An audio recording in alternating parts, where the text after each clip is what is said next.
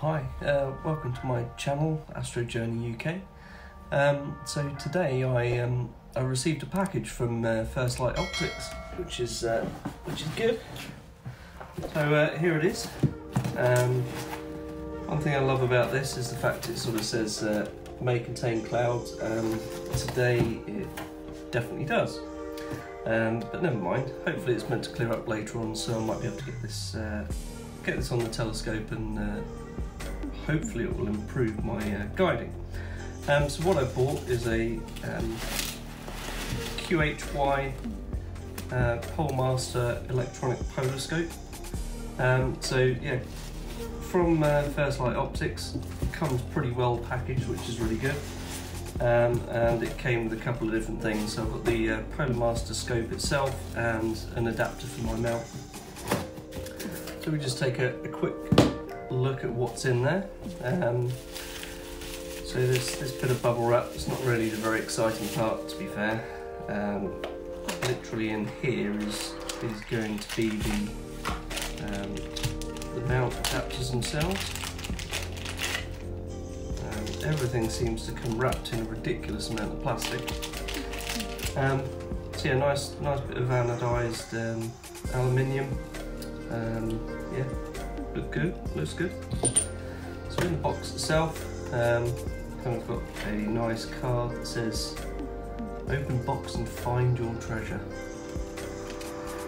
Um, and in here is under some foam. Um, got the poloscope itself.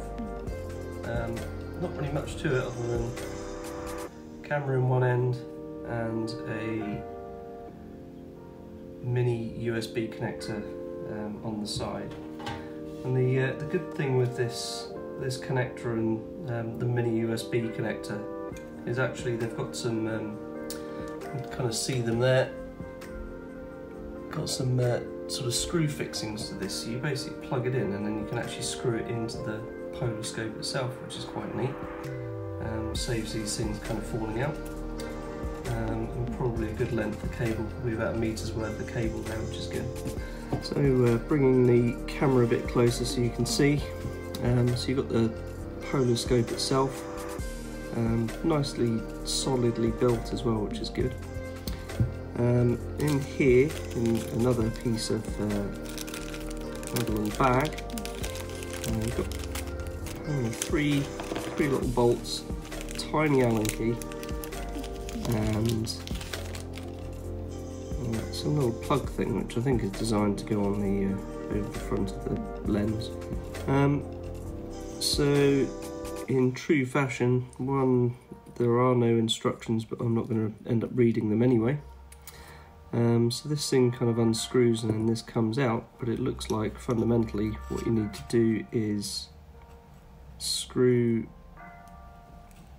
this bracket into um, into the camera. Right, so I've now got a screwdriver. Um, let's put these in here.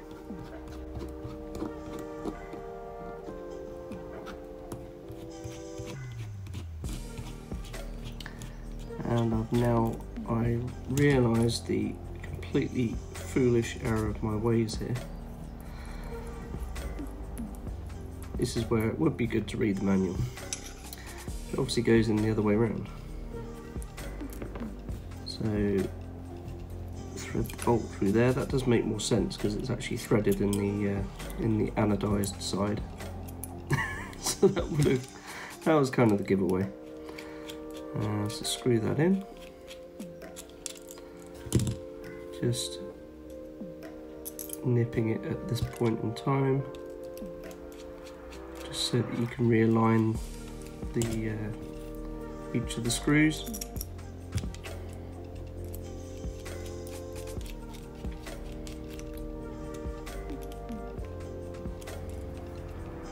And tightening them up a little bit more so there's definitely no uh, play in them.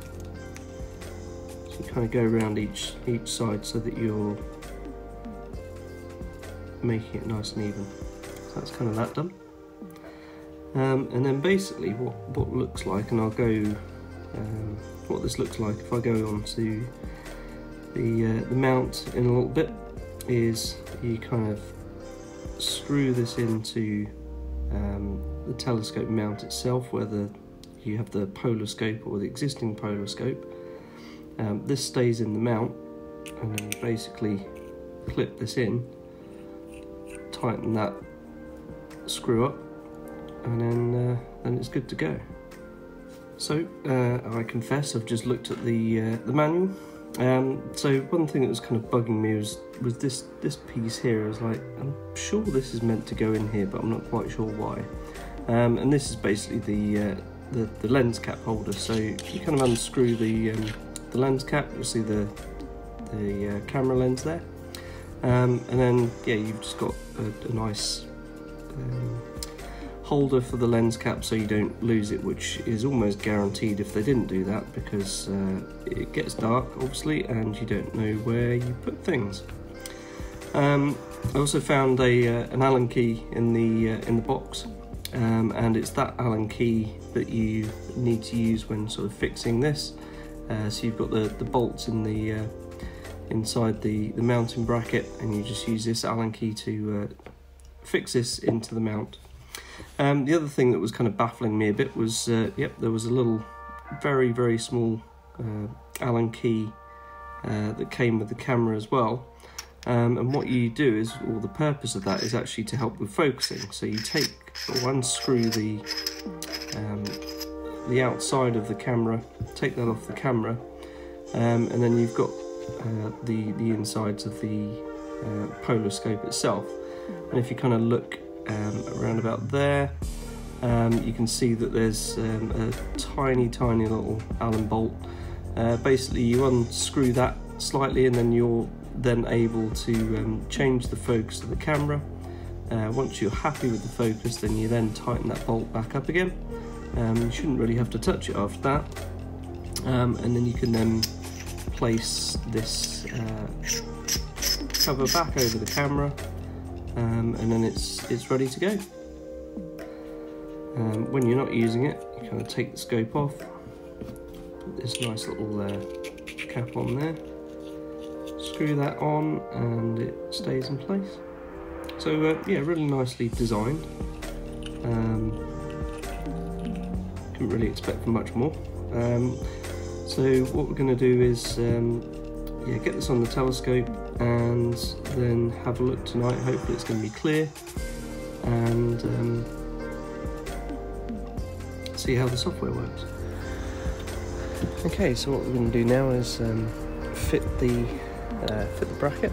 So take off the dust cover. Um, this should, uh, I'd say, just fit in here nicely. What I'm going to aim to do is, um, when the camera is connected, apparently you should have the USB cable coming out um, at the 3 o'clock position, um, which then means that the polar alignment is just a lot more uh, intuitive. So let's give that a go. Um, so I've got the uh, the Allen key and just need to tighten up the bolts in here. Easier said than done.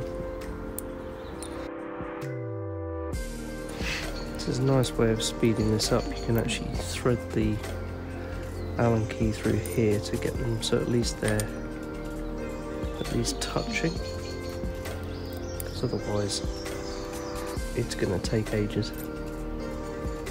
This is really quite fiddly.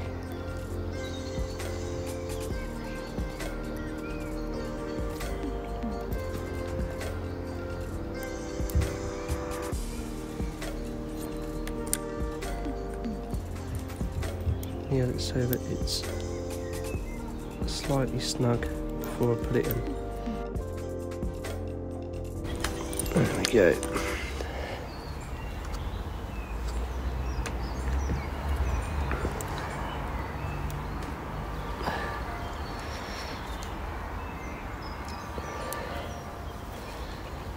and just tighten these up to make sure it's properly secure.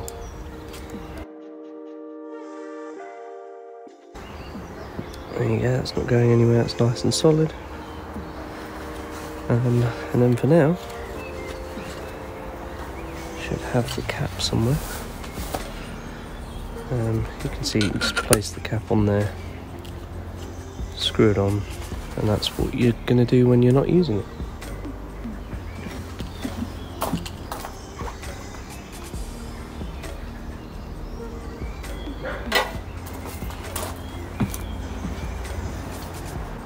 Fitting this is quite easy now. Um, unscrew that, take the cap off, put this over the top and screw it in. Um, and as I said before, this is coming out three o'clock position. Apparently that is helps with the polar alignment. Unscrew that. And then you can just place that around there until you finish with it. So what we're going to do now is um, download the drivers and the software for the Polemaster. So if you type into the search engine uh, QHY Polemaster um, and then on the third or so result down you should be able to see the website itself. Um, so yeah, this page is just the landing page for the uh, Polemaster electronic polar scope uh, just providing some uh, information about the product itself.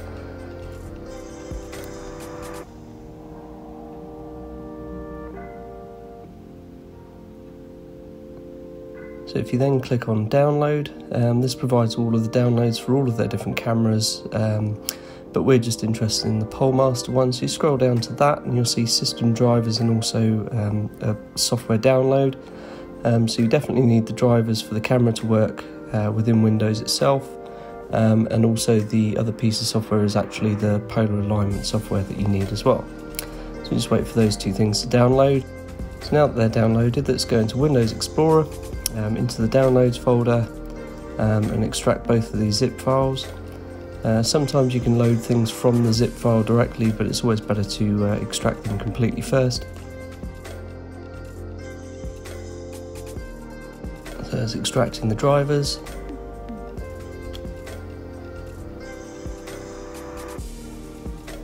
And we'll install those first. So it should literally be a one-click operation in terms of, uh, or maybe not one click, but um, a fairly simple process. Just let it go through all of the default settings. Um, here you've got to um, just validate that you're happy to install software from that particular vendor um, just a security feature of Windows. Um, so that's the drivers installed. Um, and now we're actually just installing the uh, Polemaster software here as well.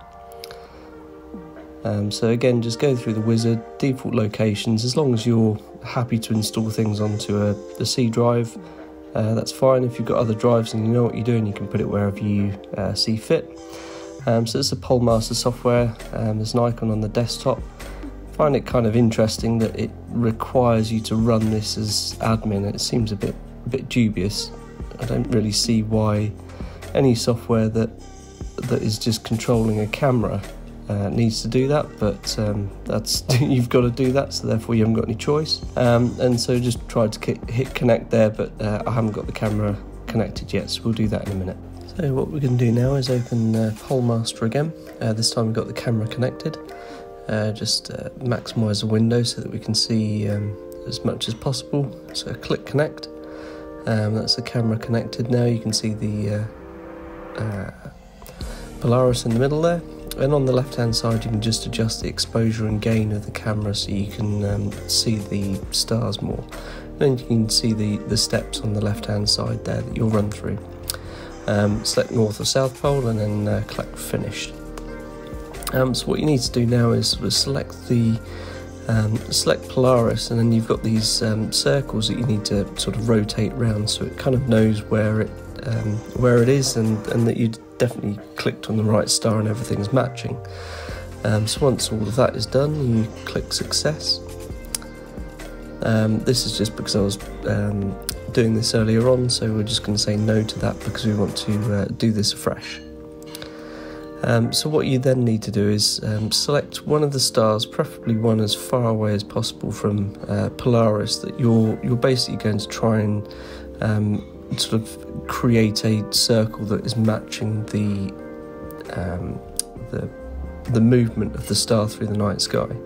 So you select it, then you move the um, the right ascension um, of the mount uh, through 30 degrees at least, and then sort of click the star again, and then move it 30 degrees again, and then this enables um, the software to sort of create the rotation arc through the through the sky. You can see a few sort of satellites sort of uh, going through this part of the sky as well whilst you're doing this.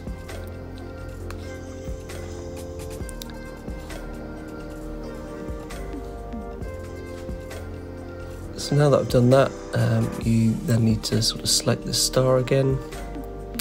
Um, I, I, keep doing this, you basically have to uh, finish the rotation first and then select the star. Um, and then once I've double clicked on that star, you should then see the circle appear, um, which shows that star's rotation in this view.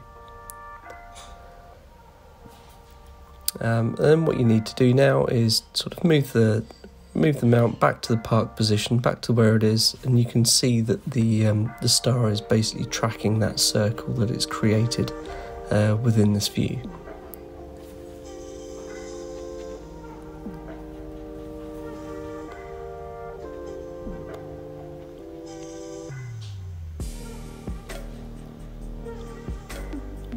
Um, so at this point, yep, just double click on uh, Polaris again. Um, and then this is the point which, um, once you've realigned everything, uh, you then get the opportunity to start um, adjusting the mount to, to do the polar alignment. So, as it says, using the altitude and azimuth bolts, uh, move Polaris into the centre of the small rotating circle. So you can see Polaris, the, the brightest star in the middle of the screen, just have to move it into that particular rotating circle. And once you've done that, um, that's the, the rough polar alignment complete.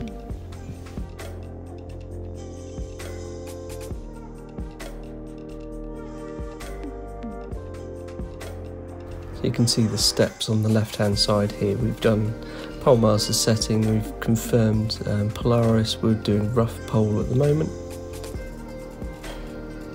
Um, and then once we've completed this adjustment, then we move on to the precise pole alignment.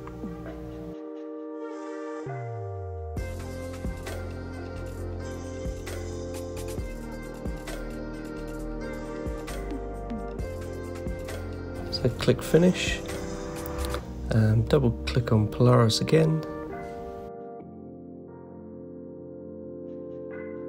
verify that the stars match, click success.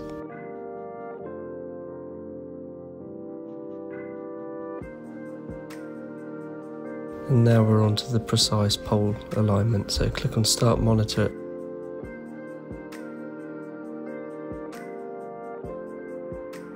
Basically have to get the green square, moving the altitude and azimuth bolts again, so that it's exactly um, in that red circle.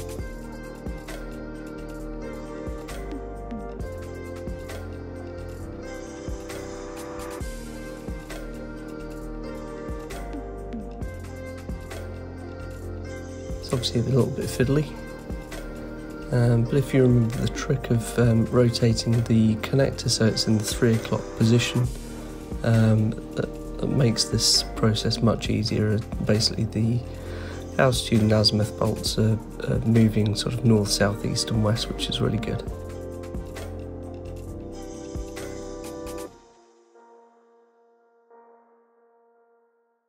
That's pretty much it, and then click finished, and you're done. As you can see, that's uh, fairly pain-free. There's no sort of stooping down or anything like that to do the polar alignment. Um, you're basically using the, the screen on your laptop to make sure that everything is exactly where it needs to be. Um, an awful lot easier and uh, quicker than the traditional approach. So uh, that's it. Um, thank you for watching this. If you uh, if you benefited from this video, then please um, hit that like button and don't forget to subscribe for future updates. Thank you very much.